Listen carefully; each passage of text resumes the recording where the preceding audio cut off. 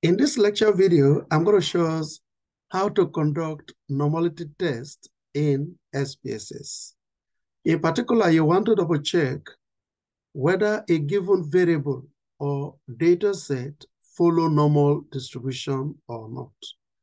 Of course, you could see that sometimes when you carry out a research, maybe you fit in a regression model or you're running an ANOVA, you carry out uh, a test, uh, maybe a factorial test or analysis of variance involving experimental design, those kind of experimental design, and you want to double check whether the variable of interest follow normal distribution or not. There are other aspects also apart from uh, a linear regression model that of course you could also double check for normality. So how are you going to do that? Of course, we could do it using the software SPSS.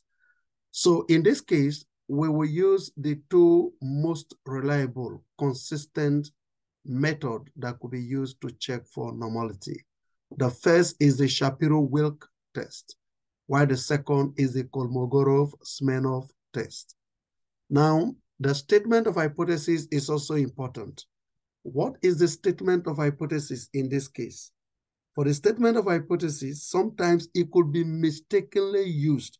Now, I mean one might interchangeably use them if you're not careful. So it's good to be extremely careful. Now, the null hypothesis is saying that the data set or the variable is normally distributed. So it follows normal distribution. While the alternative hypothesis is arguing against the null hypothesis. And in this case, the alternative hypothesis is saying that the data set or the variable do not follow normal distribution. So it's not normally distributed.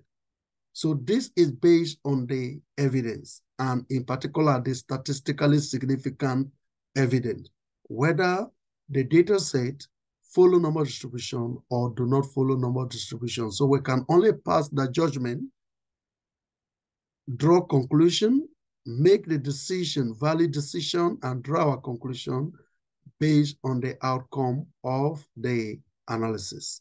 So in this case, we'll go straight to what we intend to do now we go to the SPSS. So you could see my SPSS screen. I'm still using the variable height and the variable weight.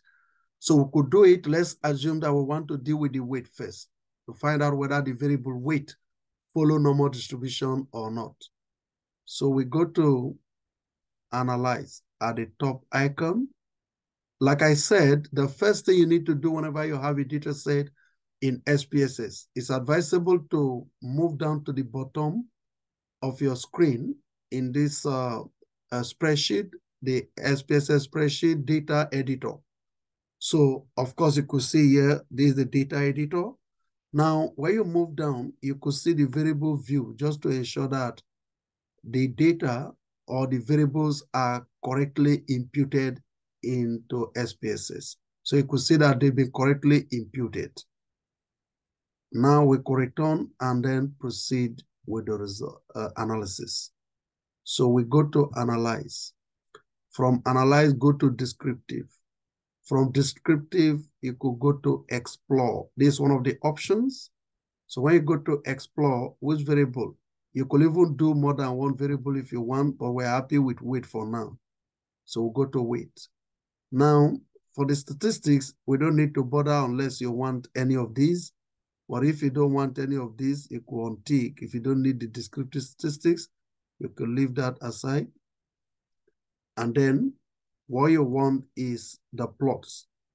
If you don't need stem and leaf plot, untick to show that you don't need that. What you need is normality plots with tests. If you need the normality plots with tests, then you could say continue. Okay. And then you could see the result. Now, this is actually the result. This is the descriptive statistics for the weight, where you could see the uh, mean, the variance, standard deviation, minimum and maximum value, the range, the interquartile range, skewness, and kurtosis. That is for the descriptive statistics. But of course, our interest is this test. So in the first part here, we have the Kolmogorov-Smirnov test. So we could see uh, the test statistic is 0.139, degree of freedom 83, the significant value less than 0.01. Then again, if we move to the Shapiro-Wilk, we could also see uh, the statistic. We have the statistic value, this, the degree of freedom. This is the test statistic as opposed to the critical value that could be obtained from the uh, statistical distribution table, uh, the normal table in particular. But of course, for small sample size, we use the student T distribution table at the respective degrees of freedom and at a certain significant level. So in this case, let's assume we're dealing with 5% significant level. So we also have here the significant value, which is p-value. SPSS report significant value instead of p-value, but the significant value is the p-value. So rather than p-value, SPSS reported as SIG, S-I-G. It means the p-value. And this p-value means the probability of rejecting the null hypothesis when it is true, which is, of course, the probability of accepting the null hypothesis when it is false, type 1, type 2 error. So, right. So we could see here, now we can make our decision. We can make our decision based on the outcome of this investigation. So we have this value now. The p-value is by far less than 0.05 for the Kolmogorov-Smirnov test. For the Shapiro-Wilk test, we also have p-value by far less than 0.05 because this is 0.006, so it's less than 0.05. So we can see evidence of statistical significance. Then what does it mean now? So you return back here Remember, our interest is to reject the null hypothesis in favor of the alternative hypothesis. But in this case, we could see here that it actually meet what we want. When you look at it properly from the result, we can see statistical significance. So it means that the null hypothesis will be accepted in this case we accept, sorry, the alternative hypothesis rather, we will accept the alternative hypothesis and reject the null hypothesis. But if being that we have a p-value greater or equal to 0.05, then we can say that we can reject the null hypothesis instead and accept the null hypothesis. Then we can say that there is no evidence that the data set do not follow normal distribution, or for simplicity, the data set follow uh, the data set do not follow normal distribution. That is in that aspect. But in this case, by the result we have, it provides a statistically significant evidence to reject the null hypothesis in favor of the alternative hypothesis. Therefore, what should be our conclusion? We can now conclude that the data set do not follow normal distribution. Or in other words, we can say there is strong statistically significant evidence at 5% significant level that the data set follow normal distribution. In this case, is also significant at 1% significant level. As you could see here, the p-value, which is SIG, is even less than 0.01. So it's also 1% significant for the Kolmogorov-Smirnov test.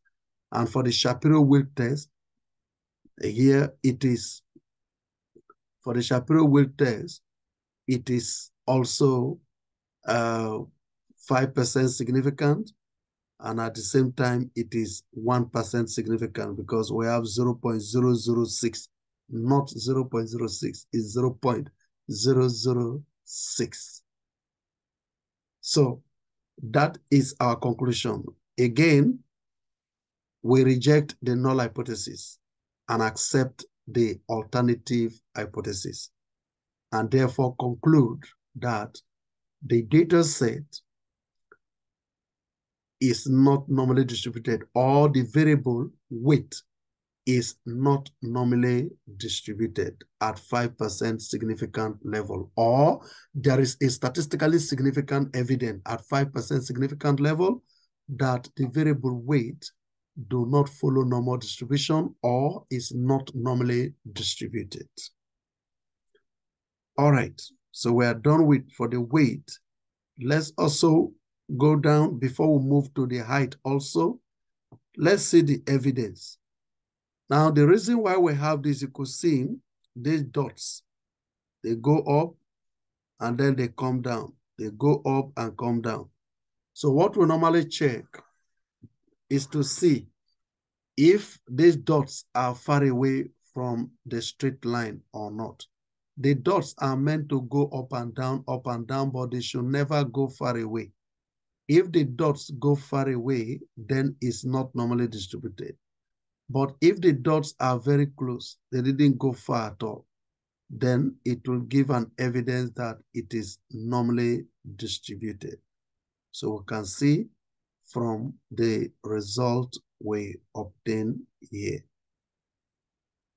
All right, if we move down, you can also see all this. In this case, we have the observed value and also the uh, deviation from the normal. Then you could see this also taking the form of a V shape. And then you could see the dots coming down again. So this is additional evidence. Then this is box plot. The box plot is just indicating outlier. As you could see here, there is an outlier. The case of outlier has to do with unusual values. When there is an unusual value or unusual measurement, from a set of values, then of course you will have an outlier.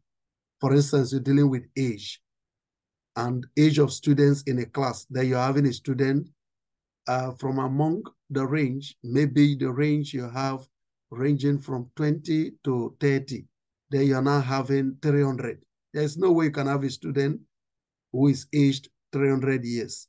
So that is an unusual value.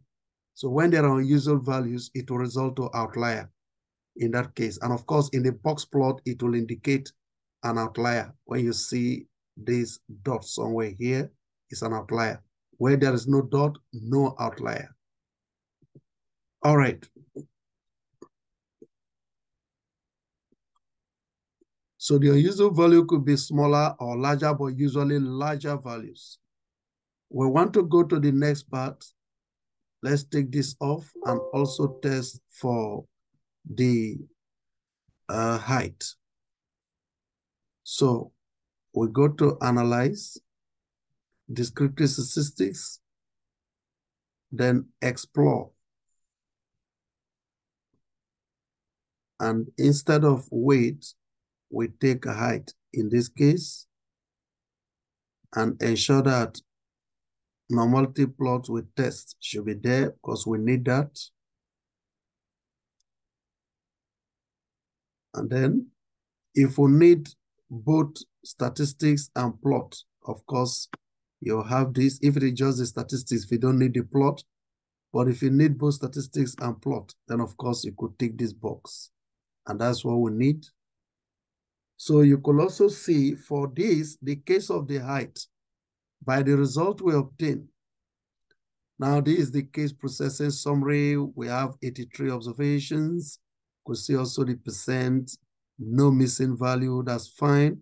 This is the descriptive statistics. If you need some kind of descriptive statistics about the data, then our area of interest is the normality test. So we have the Kolmogorov-Smirnov test and the Shapiro-Wilk test.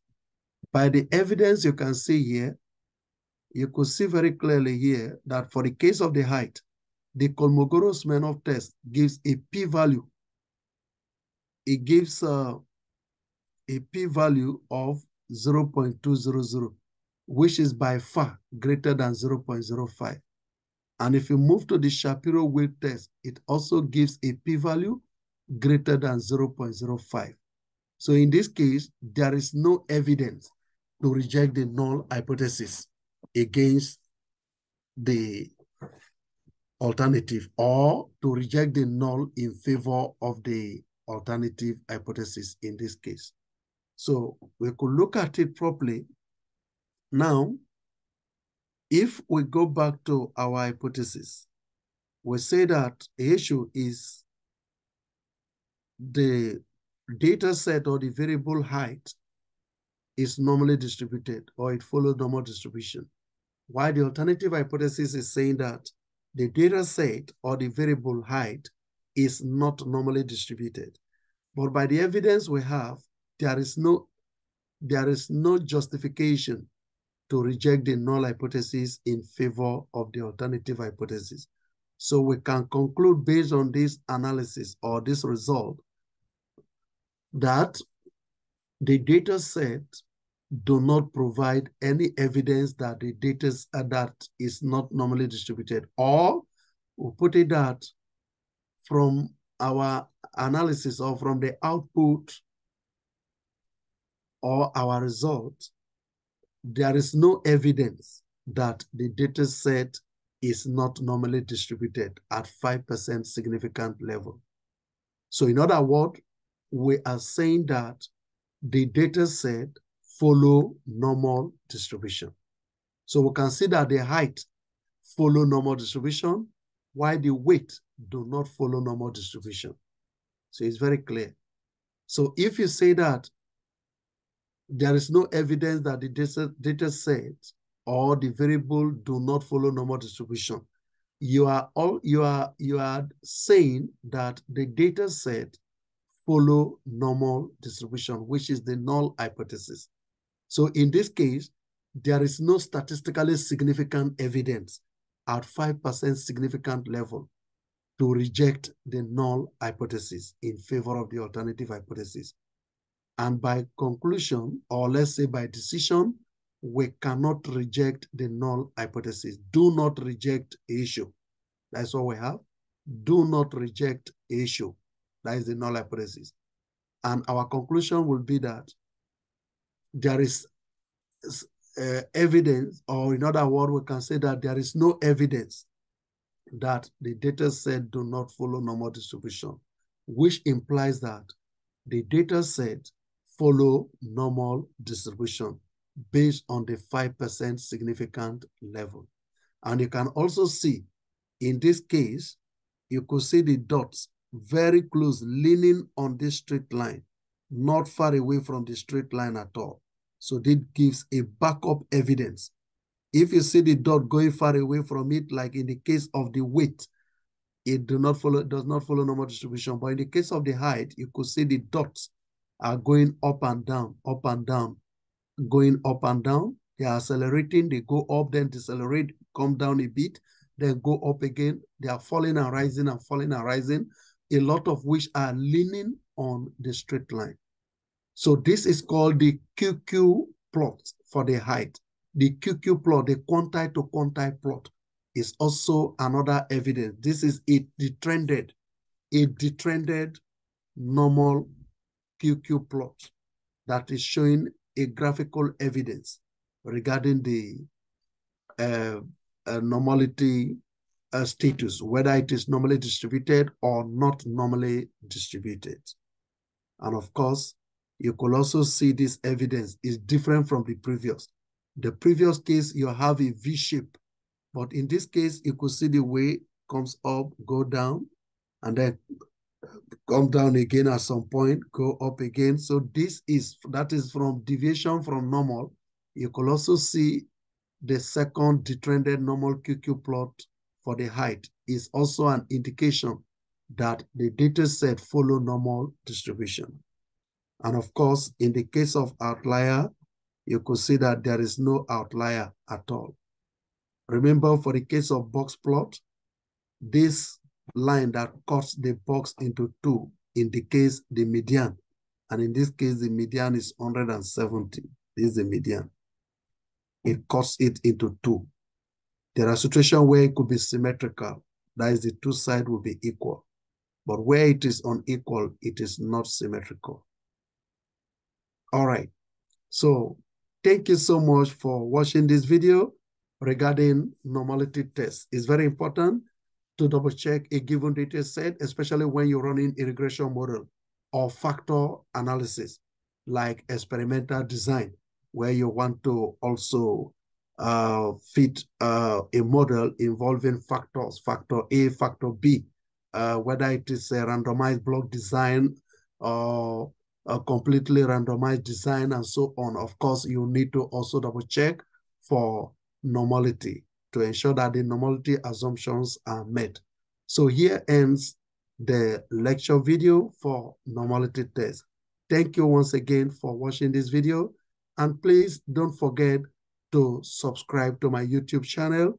You can as well drop a comment. You could leave a comment after watching the video, especially if you are happy with the video. And again, you can as well like it. And the more you do so, of course, the more you will encourage me to share more information. Thank you so much. Bye.